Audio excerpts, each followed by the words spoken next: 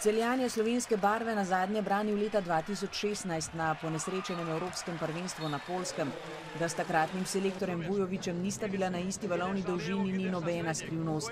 A nikoli ne reci nikoli. Ko sva se poleti pogovarjala pred njegovim odhodom v nov klub Limoš, je namignil, da morda še ni rekel zadnje besede. Če bi me povabil, bi sigurno zagrabil z obema rokama, ne glede na konkurenco. Kaj zna in zmore je v svojih 151 nastopih v slovenskem dresu že pokazal, da je še vedno v vrhunski formi, pa je dokazal Limožu še lani. Drugo ligaš je hit francoskega prvenstva, Gajčeva statistika pa zavidljiva. Sedem tekem 66 golov ob kar 81 odstotni uspešnosti. Super se počutim, um, trener mi zaupa, um, igravci mi zaupajo.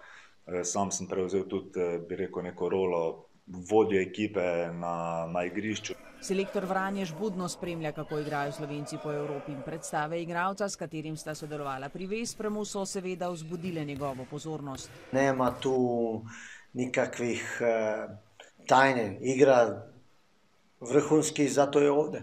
Sreča, poznam selektorja, poznam njegov način igre. Kar se tiče, mislim, da teh tehnično-taktičnih eh, težav ne bi smel biti.